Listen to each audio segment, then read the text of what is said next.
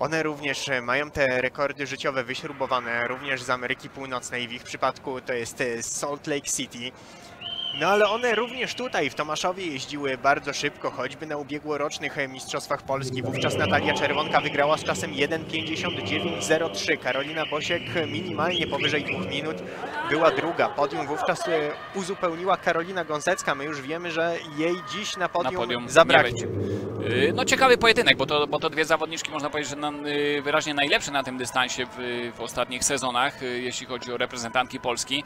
Widzimy też czas otwarcia 26, 56, 26, 66, 2 zdecydowanie najlepsze czasy otwarcia i, i to myślę, że może być ciekawa, ciekawa rywalizacja, ciekawy bieg do samego końca. Natalia Czerwonka na pewno trochę podrażniona, bo ona nie ma tu jeszcze złote, yy, nie ma tu złotego medalu na tych mistrzostwach, tak? No a to jednak yy, nasza yy, najbardziej doświadczona zawodniczka, która tych medali w poprzednich latach zdobywała już bardzo dużo.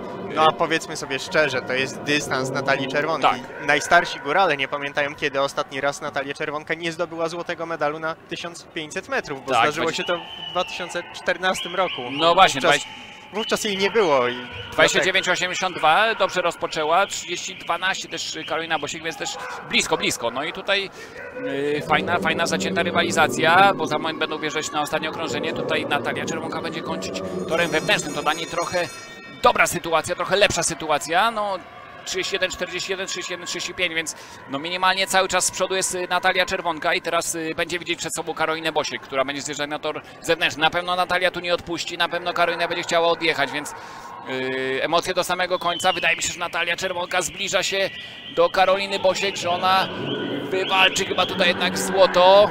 Ona wychodzi jako pierwsza na tą ostatnią prostą, no ale tu jest walka do samego końca, to są ostatnie metry.